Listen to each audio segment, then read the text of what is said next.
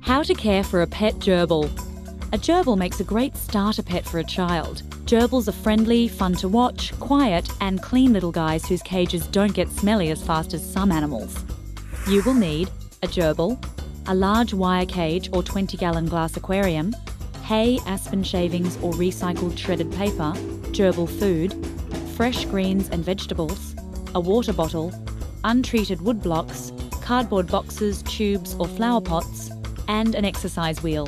Step 1. Keep your gerbil in a large wire cage or 20 gallon glass aquarium away from direct sunlight and drafts. Gerbils are very social animals, so why not get two? A pair of male gerbils will live together happily if they're introduced at an early age. A pair of females will get along great. Male and female gerbils should live together only if you're prepared for the consequences. Step 2. Line your gerbil's cage with bedding. Hay, aspen shavings, or recycled shredded paper are best. Gerbils love to dig and burrow, so make their bedding several inches deep. Never line your gerbil's cage with cedar or pine shavings. These contain chemicals that could harm your pet. Step 3. Feed your gerbil gerbil mix, which is specially formulated for his needs and is available at pet stores. As a treat, give your gerbil small amounts of fresh vegetables and greens. Try small pieces of lettuce, broccoli, and carrots.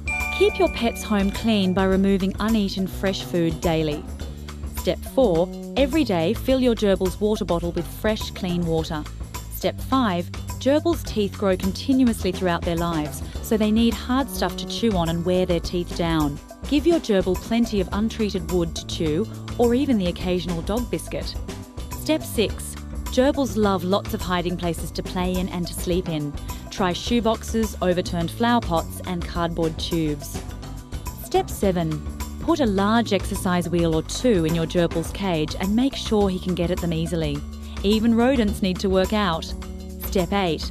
Get your gerbil used to you by handling him every day and letting him run around in a safe, enclosed area. Never pick your gerbil up by the tail. The skin is very delicate and it might slip right off. Step 9. When you put your gerbil back in his cage, make sure the door is locked. The little guys love to escape. Step 10. Enjoy yourself. With just a little care, gerbils return a ton of fun for you and your family. Did you know? Gerbils communicate with each other by thumping their feet.